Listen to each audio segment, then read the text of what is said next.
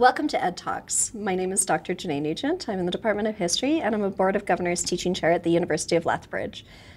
I would like to begin our session today by acknowledging that the University of Lethbridge rests on traditional Blackfoot territory. At the University of Lethbridge, we begin our meetings with a traditional Blackfoot greeting, Oki Nitsu Kawawa, which means welcome to our friends and neighbors. I'm not sure that I get the pronunciation entirely correct. I would like to welcome Dr. Sheila McManus to our Ed Talk today. Thank you.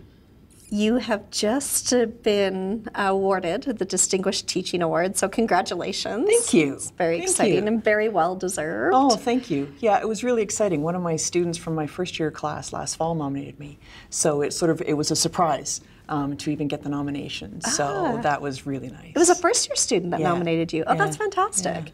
Oh, I definitely want to talk about first year classes with you. yeah, we should do that. Yeah. Well, before we get into the first year classes, I wanted to maybe start a little bit um, talking about uh, what your teaching journey has been, getting to know you a little bit, and where did you uh, begin your your journey?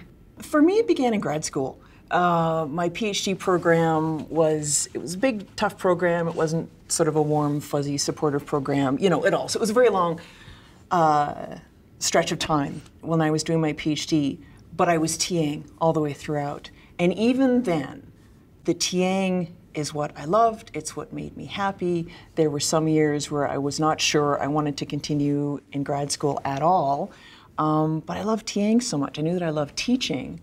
Um, and I would watch the people I was TAing for, and I'd think, what would I do differently? Would I do it that way? Would I do that differently? And I was able to TA for a wide variety of courses. Um, and I don't remember how, but I managed to kind of stumble across a couple of really good books on teaching. So the first two books I read were um, Bell Hooks' Teaching to Transgress uh, and Paulo Freire's Pedagogy of the Oppressed. And I don't remember now if someone directed me towards those two books, but I had read those two, I think, kind of fairly late in the game of the PhD. And it just, those two in particular, because they pair so well, it's like, yeah, that's the kind of teacher I want to be. Um, so, falling in love with teaching is the only thing that got me through grad school, really. And then I taught uh, in Winnipeg for a year before coming here, and it was one of those, you know, kind of classic sessional years where you've got this crazy intense teaching load, and all you do is you seem to write lectures morning, noon, and night.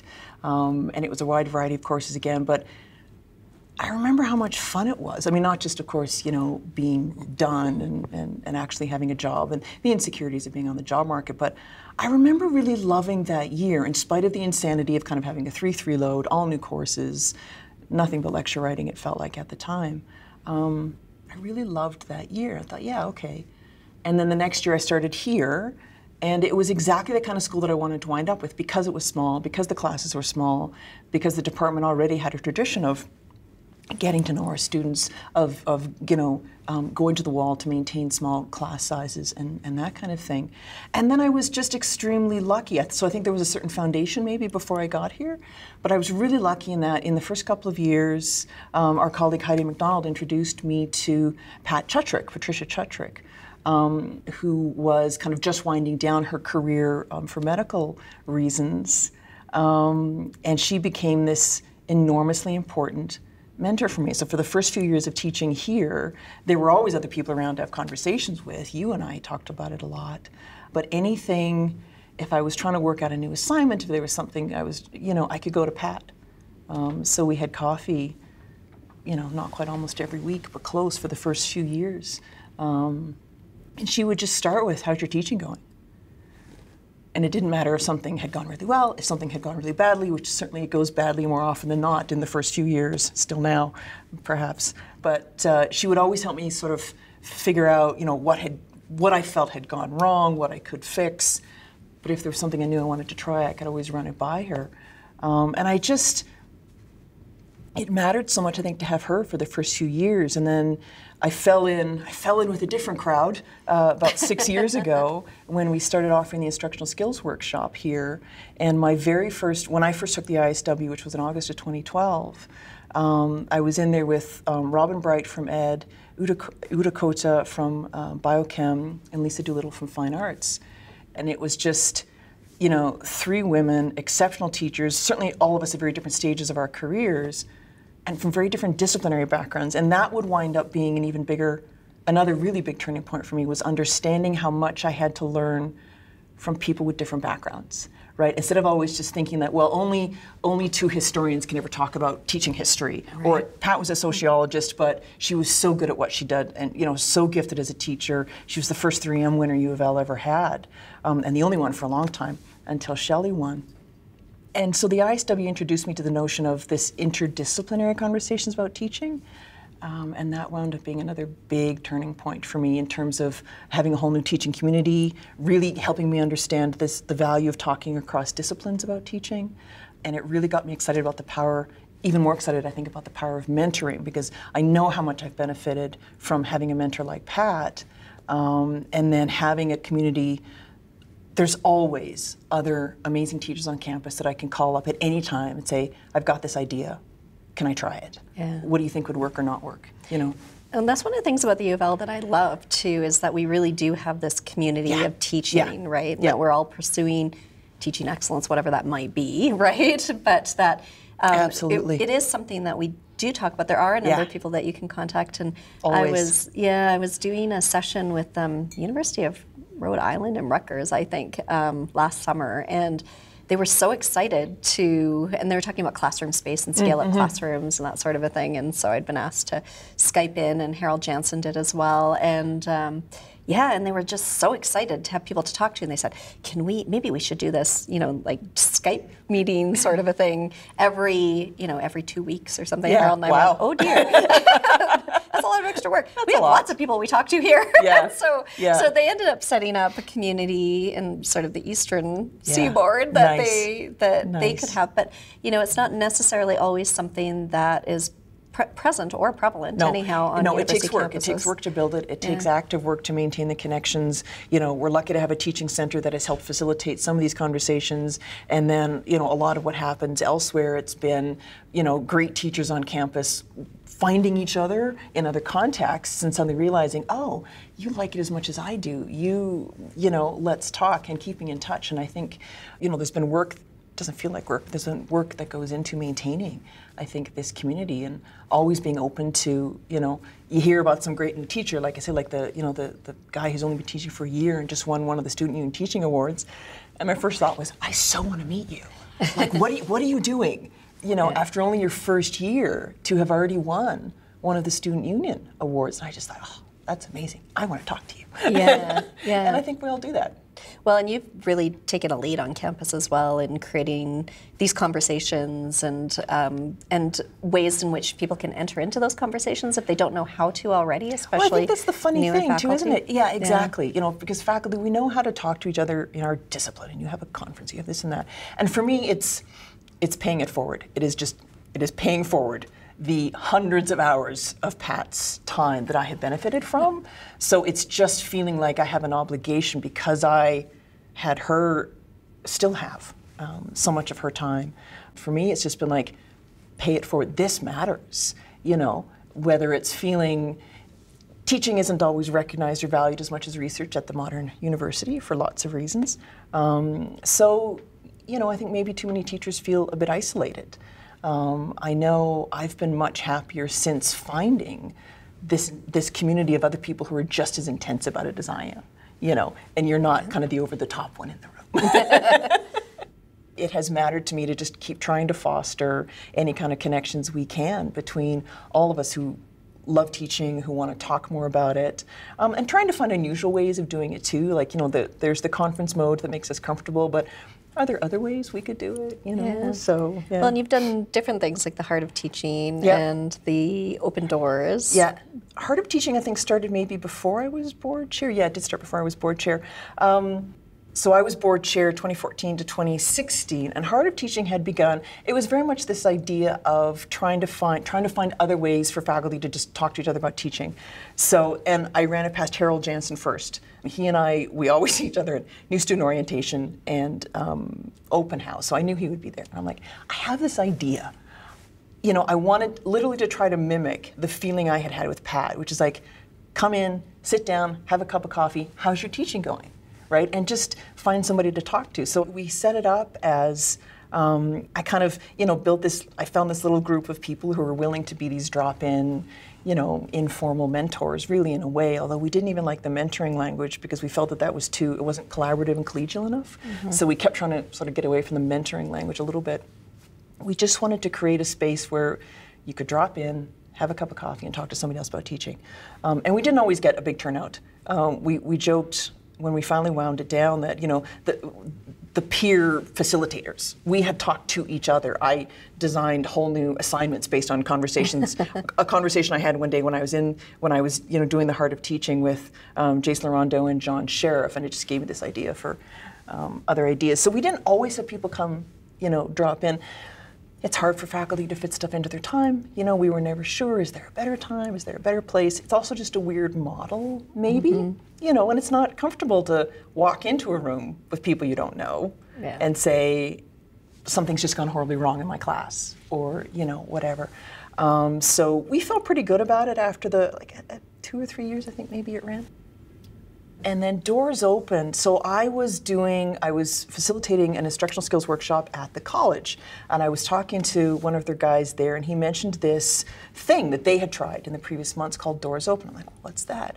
And he described it to me. I'm like, that sounds amazing. I want to try that. So it was one of the first things I, I knew that I wanted to do my first year as board chair. And the idea is just, instead of always teaching in isolation, we know there's amazing teachers all over campus, but we never actually see each other do that part of our job. So set up a schedule, right?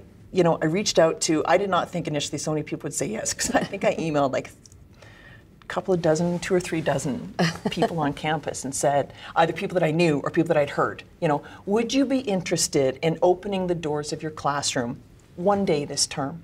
And we advertised it, and then anybody who wants to come see you teach can come see you teach. And almost everybody said yes, which again I think really speaks to the community on this campus that we're all very generous, you know, and sort of wanting to, to give that to other people. Um, so the schedule wound up uh, considerably more crowded than I had expected. But I didn't want to say no to anybody either. Right. So I just went with the crowded schedule, and it meant that there wasn't always a lot of attendance. I went to almost all of them, and it was fantastic. um, and there were sometimes, you know, a handful of other people there, but it was it was across campus. It was, you know, um, different disciplines. I did I deliberately went after more senior, sort of tenured faculty because what I didn't want was anybody more junior to feel say a bit nervous. You know, what if they had someone come observe their teaching and they're going up for tenure next year or whatever. So I had, I had initially targeted the more senior and experienced teachers on campus, and it was just amazing. I mean, it gave me a whole new appreciation for how many great teachers there are on this campus for the amazing work being done in different disciplines. You know, I got to sit in on one of Olu Awosoga's stats classes, and I feel like I understood like a little bit of what he was doing, you know, and, and the students were laughing a lot at his stats jokes, so I thought that was good. And I sat in on one of Hadi Kharaghani's math classes, and again, I had the tiniest feeling like maybe I had some clue of what he was trying to teach.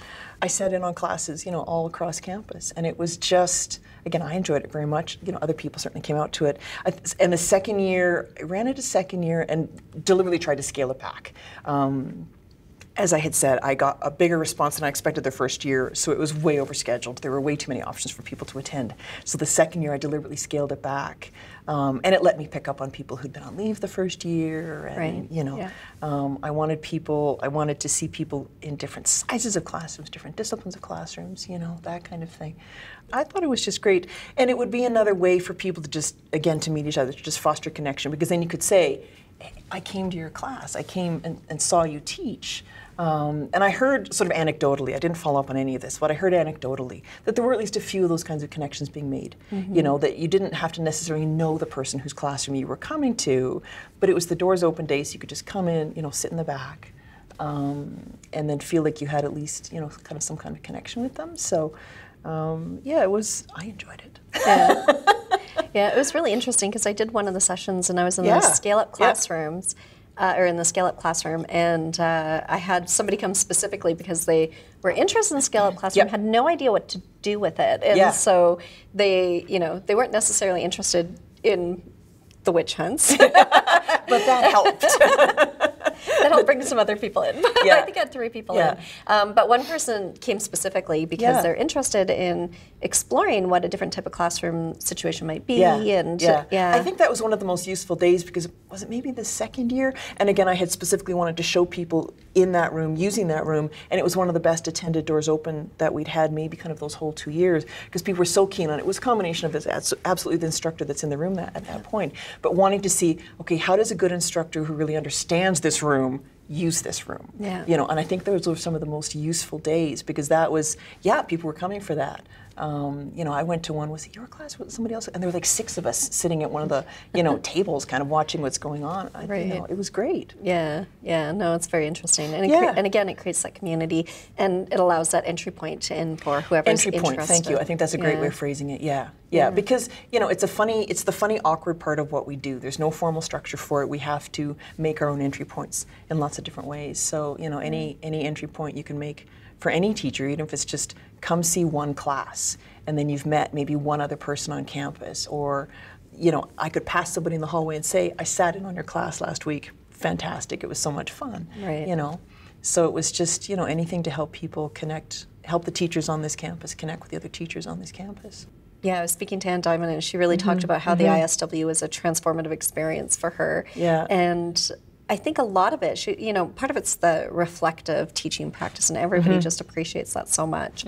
Um, but I was in China recently, do, and they um, there was two people from Conestoga College, and one of them is a rep on the ISW International Committee. Oh, cool! And so she'd been invited because they were quite interested in bringing Yeah, ISW yeah, to China. that. And I was talking to her, and you know, we're in these meetings, and I mean, I couldn't represent ISW because I've only just taken the session, um, but I had checked into how many people had done our ISWs, and then how many people had been trained as facilitators. Yep. And she said, "What is going on in your campus?" Those are really, really strangely high numbers, Yeah. right?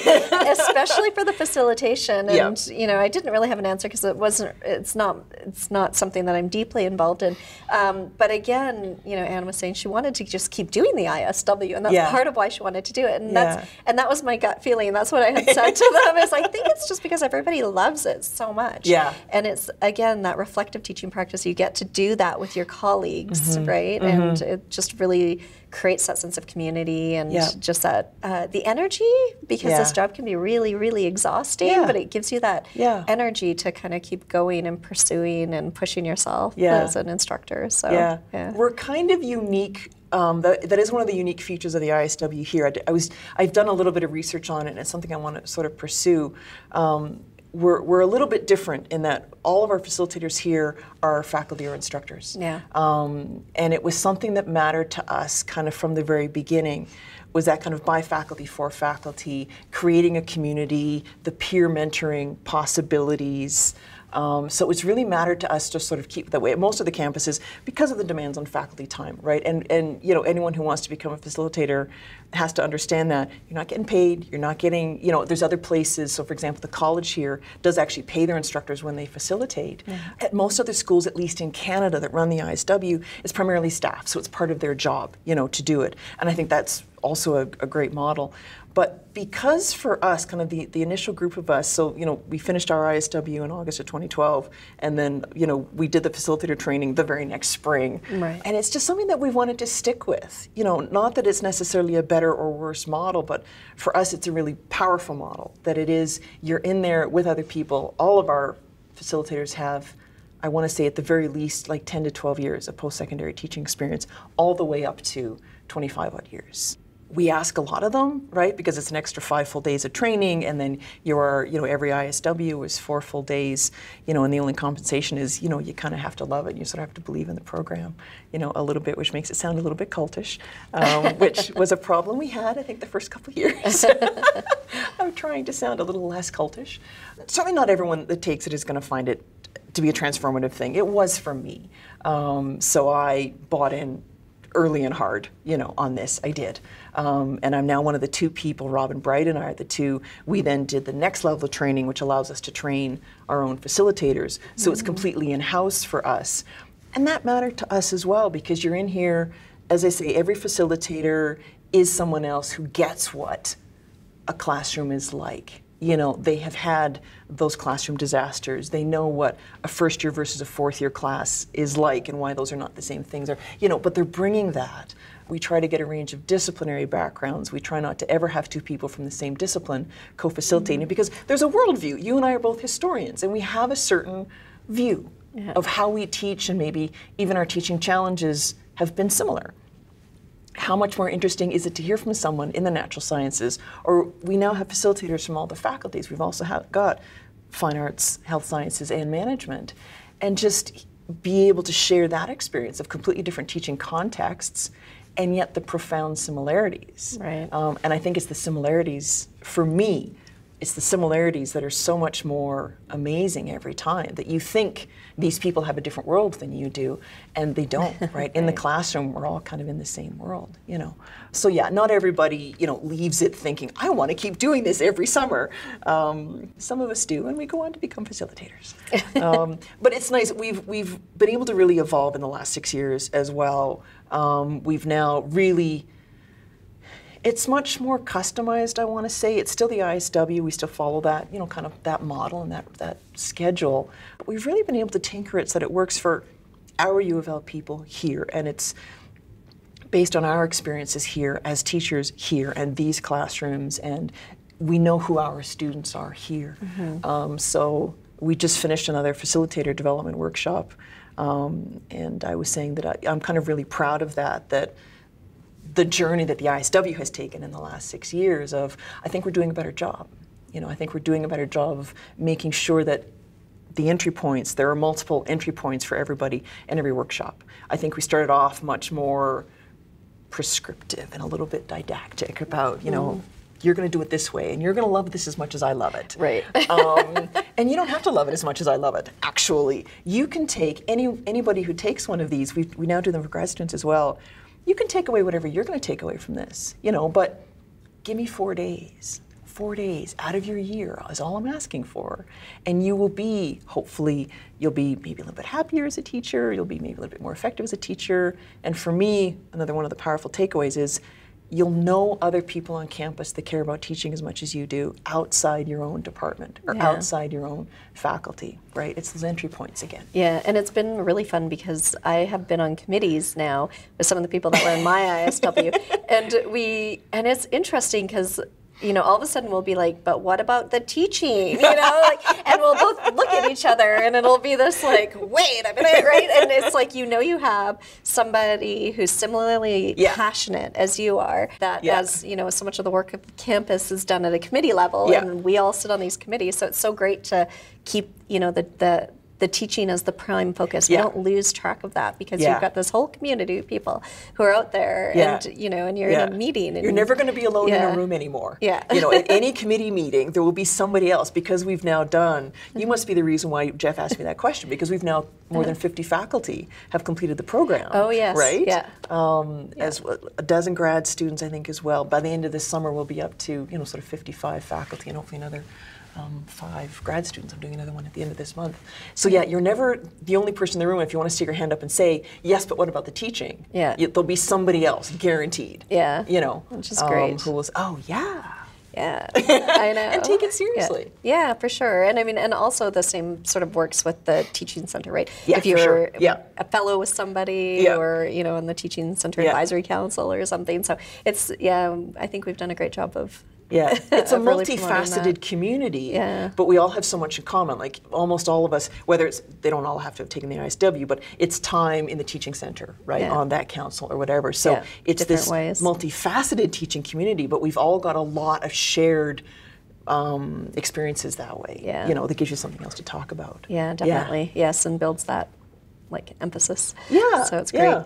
Um, another thing that I wanted to talk to you about uh, that I am sure was part of the reason that you won your Distinguished Teaching Award uh, was the first year experience and first year classes. I, I'm super passionate about Yeah, them. I know you're super yeah, passionate about yeah. them. I think we come at them quite differently, but I'm always inspired by um, you and frankly awed at your ability to Thank like you. manage well manage student engagement when you've got a class i mean our first year classes in history were 90 students Yeah. next semester there's 75 Yeah, yeah. which will be great so we're trying to get you know the smaller classroom Mm. experiences if at all possible but um, to keep students actively engaged Yeah. in in a classroom that size is a challenging Yeah. um, endeavor, and I know that I'm forever pursuing it. Yeah. But you've come up with some really interesting Yeah. ways of doing that. Yeah. And again, I have to give credit to Pat Chuchryk for this because I didn't teach the big first year classes my first couple years here. I forget when I first started teaching it. And so by the time kind of my turn was up and I was about to dive into that big 90 student class for the first time, I already knew what kind of teaching I liked and what I mattered, what mattered to me. And I remember talking to Pat and saying, Oh, I don't think I can do discussion. And she said, Of course you can. I go, oh, okay. I just needed someone to say that you could. you know, I, I guess I can. Why should I think that I can't? Okay. Um, and then she really helped get me through kind of that first year. Um, where it says, if you just start with the assumption that yes, you can, then you just, you know, you hate to sound like a cliche, but it turns out you actually can. you know, you just put a bit of thought into it and you just put a bit of structure into it. You know, so even with 90 students, the first year class is the only class where I still lecture, maybe two thirds of the time but there's still of course there's a range of different ways to even make a lecture much more active and engaging whether it's we do a little bit of predictive at the beginning like okay why do you think i've got this on the outline? Or what did we do last class? Or how does this relate to your other readings? Or you know stop for a second and talk to the person next to you all those classic little little Yeah. things you can do in class. Um, but a quarter to a third i'm slowly moving it up to about a third is still active not lecturing you know. And it's just it's been about um, figure out what I want to do, and prep the structure ahead of time. So I will always, so it's normally based around a primary source document, of course, because this is a first year history class. So I'll I'll send out a sheet or I'll post it on Moodle. You know, okay, so here's the document I want you to read. Here's some prep questions. So there's always at least say two to four prep questions, and it's basic things to, just to get them into the basic content of the document or the basic context of the document, and then it'll usually be sort of a couple things at the end that'll sort of hint about where we're going. Oh, okay. And then in class, I have some kind of structure set up always. So I was actually just so the one I know I've talked a lot about is my Chinese Peasant Rebellion Day. So I teach world history. Um, and uh, so a couple of years ago, one of the documents we were going to be reading is in two second century BCE, the new emperor of the Qin, brand new Qin dynasty uh, comes to power and he wants sort of to, to you know control society. So he orders there's an edict where all books are going to be burned, all scrolls are going to be burned, except the useful ones about like medicine and agriculture and and treatises that support him and his family and his lineage, and everything else is going to be burned. So that was the document I wanted us to talk about. And so the prep questions were what's the basic content? What's the context? Because that matters a lot. The Qin dynasty comes in right after the end of this violent, long, warring states period, it's called. And it talks about, there's a line in the document about the lowly multitudes, that the lowly multitudes don't need to be confused or distracted by these other things. So the idea I had, so those are the prep questions I had sent out ahead of time. But then when we got into class, I set it up. So the last, the, the you know, the furthest row, because they're the highest, is the emperor and his advisors. Oh. the next two rows down were kind of the elites and the scholars, the ones who are likely to have either written some of these tracts, these, you know, or were likely to own personal collections of scrolls. And everyone else was the peasants so kind of in we had those big visual divisions in class and then it was like all right so they started off you know because they've got the document i always want to give them an easy concrete entry point right? So start you know get yourself into smaller working teams. Start with the document that i gave you. How would you guys answer these questions? And then the last one was about sort of perspective. I asked them how is each of you how are you responding to this? What does this mean to you? And it was fantastic because in the back row, a, a quieter student who'd never really spoken much, it's a 90 student class, yeah, that's a scary thing. Um, he was suddenly emperor. So he was trying to figure out, and I don't know how he became emperor. I was not like I was just circulating around, right? Because then once I set it up, I let them go, right? And I just circulate. I make sure I get back around to each team two or three times for questions, but I try not to interfere in whatever process they've got going on. So suddenly he was emperor, and I thought, oh, that's kind of cool. He's he's been very quiet. He's emperor. And the, the the next two rows down are sort of figuring out, you know, do they want to risk their lives by challenging the emperor, or do they want to just kind of go along with him and burn their life's work? And then the peasants are sort of trying to figure out. And I suddenly have one group of peasants plotting a rebellion. Uh. you know, and I kind of stop and, and listen. And I had that moment of thinking, I'm a historian. There was no peasant rebellion during the, you know, under the, this time in the Qin dynasty. Should I stop this? And I thought, no, I'm just going to let this go because I don't know where this is going.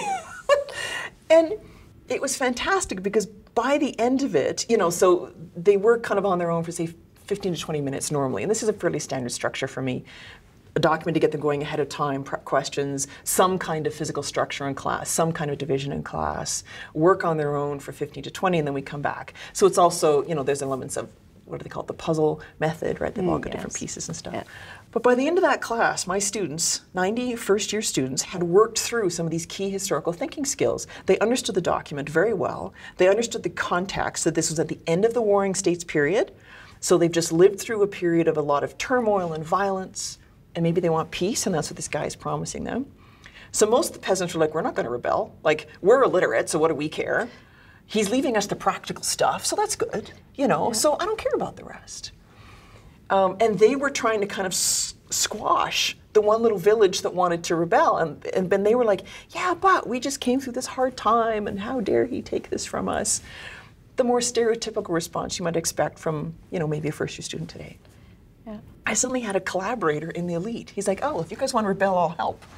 And I'm like, well, what do you think your motivation is here exactly? He said, well, if they win, I, I, maybe I get to be emperor. So he, he was thinking through this. This wasn't necessarily about, oh, I want to protect my personal, you know, scroll collection or I'm a scholar. He was very clear that this was about political advancement. And then the emperor was having to try to, you know, defend himself. So, I mean, that's one of my favorite examples. But um, I find as long as I've, I've given them the structure ahead of time, because I always teach in 75 minute blocks, but I have 90 students and 75 minutes, so I have to impose. There's some kind of structure. Mm-hmm. The biggest amount of time we normally spend is making them move, right? I don't let them stay in the same seat, so they're divided alphabetically, or they're divided, they number off one to six, and then each of the six groups has to move, or they're divided alphabetically.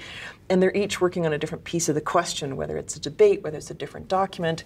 We did one this past year about. Um, so after the, the age of revolution so the um, american french and haitian revolutions so they had read kind of key documents from each of those three and then they had read something from frederick douglass maybe kind of written obviously sometime after that fact. And the question was revolutions for whom so the class, kind of each team had to justify why their revolution, their document was the most important, mm-hmm. right? That if anyone knows about any of these revolutions, it should be why is the American or the French or the Haitian more important? And then there was a team that was basically the critics, right? So 19th century um, African Americans saying, you're, whether the American, French, or Haitian revolutions, all three of which promised things, none of this paid off for me. So there wound up being kind of a bigger debate about what is what does a revolution mean? Right. Why do we look to these three as turning points about anything? Um, and it's, of course, not all 90 students can talk at once. That's not the point. Um, I create a lot of other ways. The quieter students, they can send me their own private reflections afterwards, which are fantastic. Um, um, but I'm, because I'm always circulating, I know who's working in their small groups. You know, I can tell. I'm not bothered by you know technology, like phones and laptops in class. I don't get into those bands. I give them something to do. Like we'll look it up, right? So I'll sometimes deliberately group. Okay, who's got a laptop? Okay, you guys are in charge of looking up this bit, and I don't care if they use Wikipedia, whatever. They're doing something, and they're then contributing some background knowledge yeah. to their colleagues that wouldn't have had otherwise. So it's actually, yeah, I think I.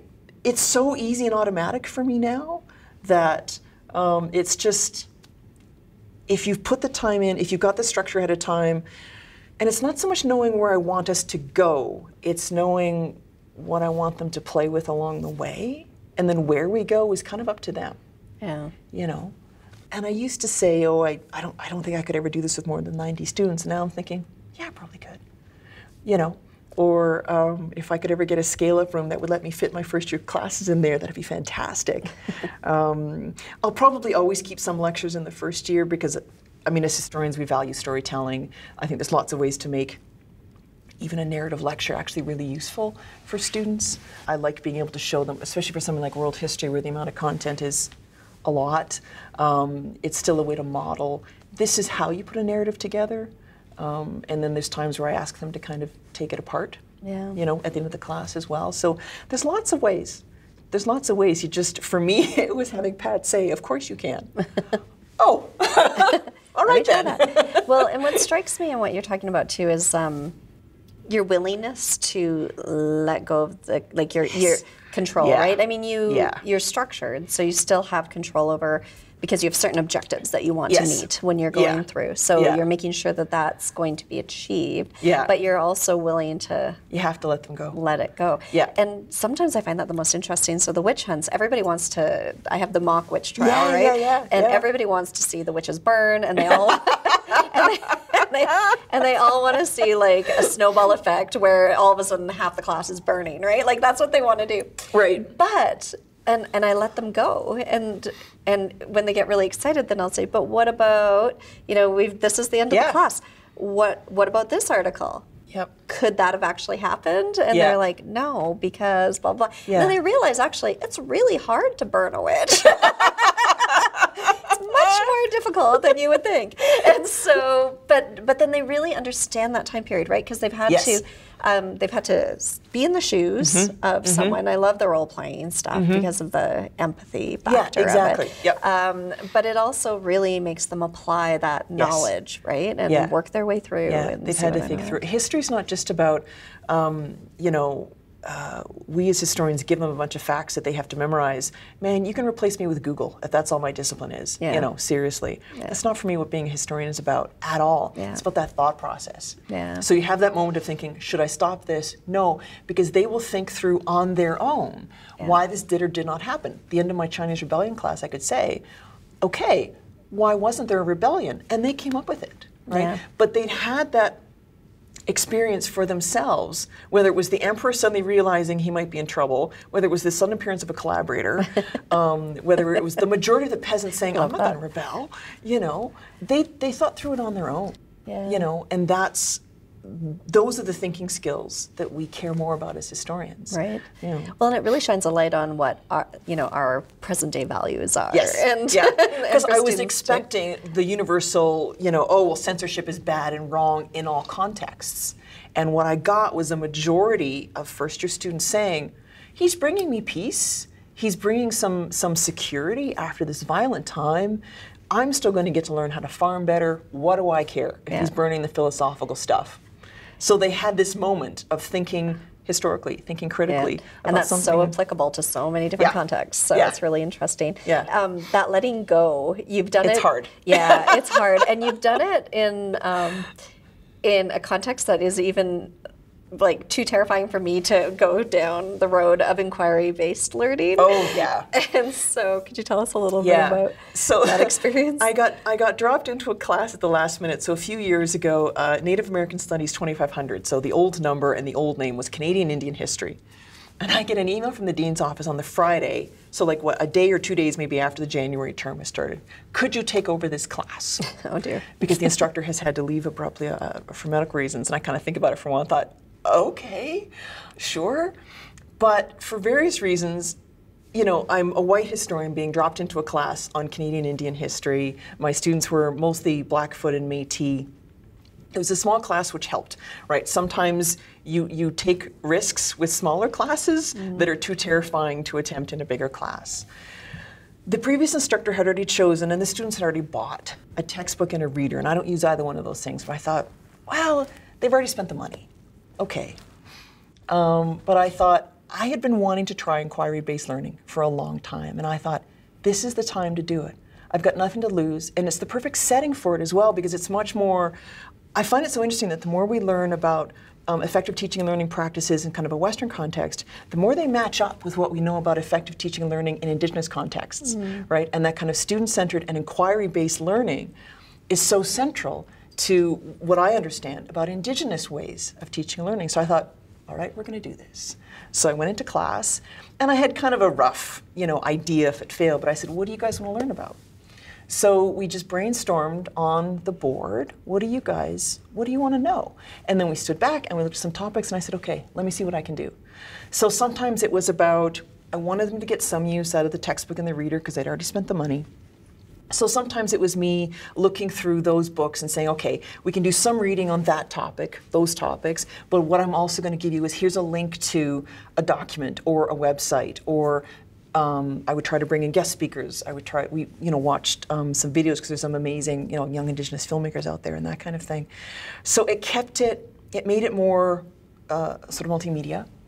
Um, it meant that it was, and I, again, because it was a very small class, I think I finished the term with 13 students. It was tiny, tiny, tiny. So it was easier to manage in that smaller context, you know. But it meant that for someone, for the instructor showing up after classes started, I'm not even in their department, really. I'm just being parachuted in. They still got what they wanted out of that class. Um, and there were presentations about their research because, again, there's a key principle of sort of um, reciprocal sharing, right? The white Western model of research is you go in and ask questions and then you leave, right? And that's not an indigenous model, from what I understand, of ways of, of knowing and ways of researching. So I really wanted them to be presenting and sharing their own research with each other because they all had a research project that could take whatever form they wanted. For me, it's the fun thing when I get to teach in other disciplines is that I can kind of, it doesn't have to be an essay, right? Yeah. History students get really nervous when you say it doesn't have to be an essay because they're good at essays and, yeah. it, and, it, makes them tense. students in other disciplines are like, cool, what else can I do? Um, so whether it was a video presentation or whether it was PowerPoint, whether it was, you know, whatever. Um, so it was, it was a nice way because it was a small class, because it was kind of a last minute. I hadn't had time to overthink and over prepare and over analyze what I was going to do. It was just something I'd wanted to try. And the research I had been reading about inquiry based learning just seemed to match up with the research I'd been doing about kind of indigenous ways of teaching and learning. So I thought, well, let's try this. Like, if, if I'm going to try it, this is the class to try it. And it worked out so well. I had an amazing bunch of students. Um, and they didn't react as if it was weird at all, right? Whereas I think I might have made a group of history students a bit more nervous if I had shown mm-hmm. up. I did. I tried this in a different class last term, and it didn't work very well at all. Um, but that NAS class was just like, this is great. You know, what what can we do? Great. All right. And and it then it just became my job to facilitate what they wanted to know about. Right. So it was not a survey of Canadian Indian history and here's the treaties and here's the residential schools. Of course we addressed all of that of course it was there, but it was coming out more organically in the questions that they had and whether it was their own research projects that they were kind of giving little updates on or whether it was a video that they had wanted to watch or whether it was you know and being a historian i was still bringing in primary source documents and you know um, and that kind of thing so that first class it made me a bit um, it was such a great payoff it made me a bit bold and ambitious because then I, I tried the same thing on a group of senior uh, fourth year um, history students last fall, and it, they were just like, yeah, why are so, we doing this? You know, yeah, yeah, yeah, I would do it again. Yeah, I, I usually try to reserve two or three classes for TBA days, yeah. and so that is, and, and I always say in case something comes up that you want to learn about, yeah. and yeah. they're it's always a way to like, ease them in, yeah, right? And they're still, they're still like, eh, yeah, like yeah. No, I left half the schedule open. Yeah, like I had, this is your job. yeah, what do you guys want to know about? Yeah, and it's so um, I think it's another reason why I love first year students so much is that for some reason first year students don't think that question is weird, oh, yeah. right? And fourth year students, they're nervous. They've been trained in what to do to get an A, you know. So I find first year students, maybe it's just the first year students that want to take my classes, get a lot more nervous when I'm trying something different. First year students never flinch. They're like, okay, maybe yeah. because I love teaching you and I both, right? It's yeah. like it's that fall of their first year. So I think I always think to myself, they don't know yet. They don't know yet. Yeah. Let's show them the potential. Yeah. yeah. Let's show them that a big 90 student first year class, a history class, a world history class, where we're doing eh, about 10,000 years of history in 12 weeks, this can be fun, right? We can do this. Um, first year students, you can will just go anywhere you want to go with them. Just set it up, give them a bit of structure but they have so much energy and they're not yet so worried about is that right? Is that what you wanted? I've done this other thing this way for four years and now you're asking me to do something else. So I find first years are just a blast. I love first years. yeah, me too. Yeah they're yeah and they're just and you want to make them love your discipline right? Well that's partly it too. Yeah. yeah. yeah. I mean i don't they're not majors right? With 90 students maybe a handful are majors. I convert a few every year and that's nice. Um, and i'm okay with that. I don't i know you know you hear some other faculty speak about you know they, they maybe don't think as highly of the first year class because well they're not majors yet. I'm like so It's just about this is what history actually is, and look, history is more fun than you think it is. Yeah. You know, so maybe they'll want to take more courses in our department, or maybe they'll just think differently about what they think history is. It's about showing them a way of thinking, a way of seeing the world. And at least in our classes, like history class can be fun. Yeah. History's not just about I'm going to spew a bunch of facts at you and you're going to barf them back up on an exam. Yeah. Right? Like that's not. I don't do exams anyway, so that's never going to happen. But yeah. Well, and so often, you know, you get the students, I don't like social studies, you know, from this Yeah. Alberta Yeah. curriculum, or. I don't like history, and it's no, yeah, you haven't taken it from me yet. you are my target audience. Yeah. so, Yeah. yeah. I also uh, wanted to ask you about textbook writing because oh, you, another shared yes, journey we've both been on. Yeah, yeah. How's yours coming along? it's coming. It's um, we've almost got the complete first draft, but it has been really interesting because it's uh, for a British audience, right? I mean, they do want to have North American students, but because it's um, a Scottish history textbook, Right. its main audience will be in Scotland, Yeah. and um, their environment is very different than what we have in Canada, and so I am in this eternal. Conversation about you know I want I want to en- encourage them to think about theoretical Yeah. concepts. So I'd like to make sure that gender and intersectionality are in there, and I know that that might turn some of the faculty off right away. But to me, this is what's important, right? If I'm Yeah. going, if I'm here as the social historian, we need to be examining these concepts, and Yeah. so it's uh, it's interesting. But I really I really like it. it makes you think hard about teaching and that's that was what I was most grateful for in so many ways about the process of writing mine. So I was asked to write it. It wound up becoming my second book, and when I was asked to write it, I thought, "You've got to be kidding me! I'm way too junior." Like, you know, who writes textbooks? Well, it's the big names, especially. So it's a textbook on women in the U.S. West, and textbooks in the U.S. West history are dominated by very big names, mostly men, mostly from a certain Eastern school. Um, so I just thought, I, you got to be kidding me! I am way too junior to be writing a textbook. I had this in my head that no, you don't. That's something that a senior person does. I don't know if I was even tenured when I first got the invitation. And it wound up, and they said, no, we want someone. We want someone who's junior. We want someone who's very student focused, who's very excited about teaching. So this textbook isn't about let me show you how much I know. Ha ha ha. It's actually something that might be useful to students because the series was meant to be kind of affordable, accessible freshman first year college textbooks, really for a U.S. market. So I'm like, okay. Um, and this was another kind of turning point in my teaching, I suppose. So I almost had a first draft of the book done. And I had followed a fairly traditional chronology. And then I happened to, one summer, I was teaching a US West course in the summer for some reason. And I just said to them one day, what would the history of the US West look like if we put women at the center of it? And they just went for three hours, right? And I mean, of course, I filled the boards. I was out of board space.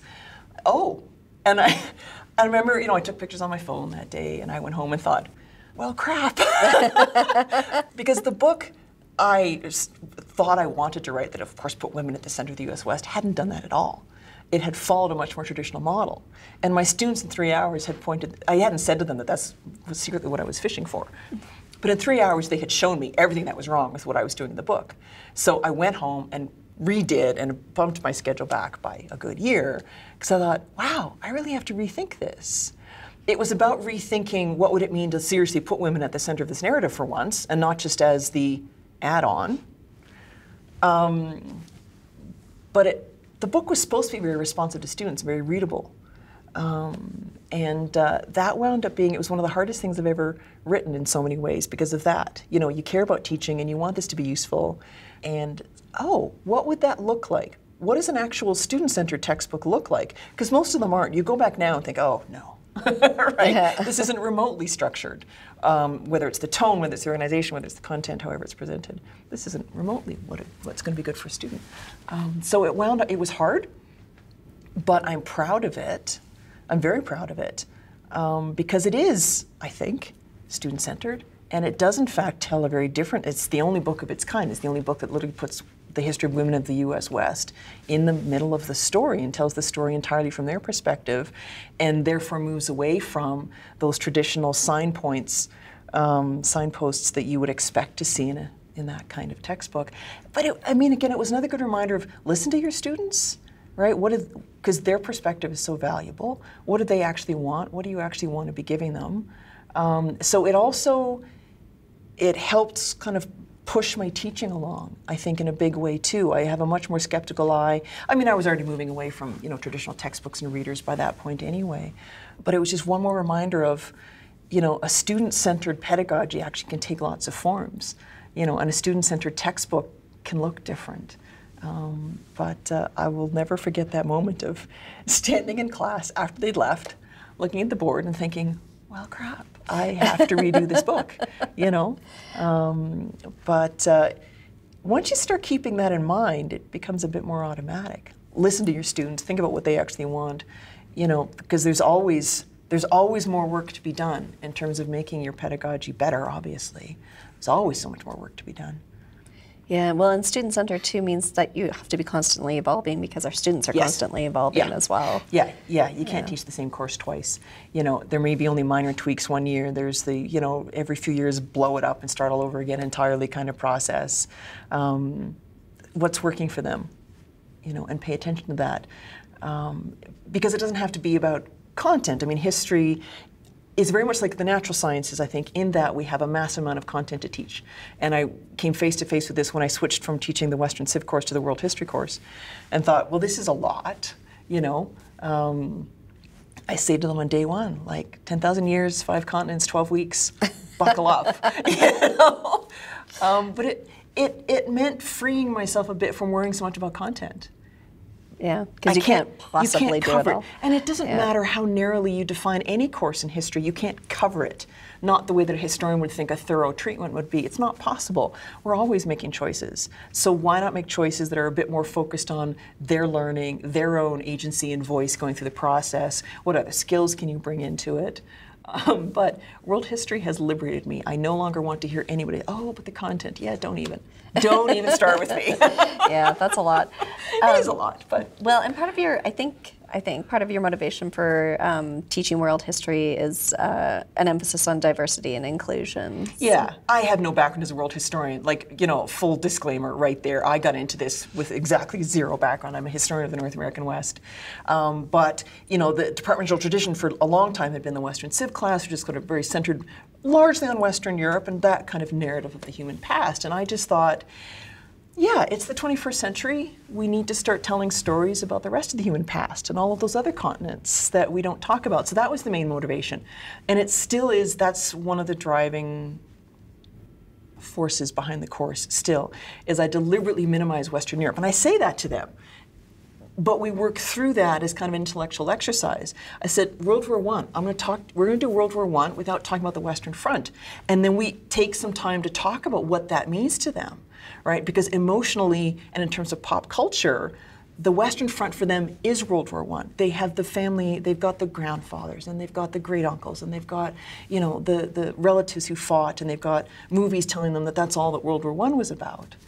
So it's about making it explicit that I am going to tell you, we're going to talk about other parts of human history, we're not going to. I skipped Rome. That was my big step last year. Was I deleted Rome, and I said to them, "This is a weird moment for me because I just eliminated Rome.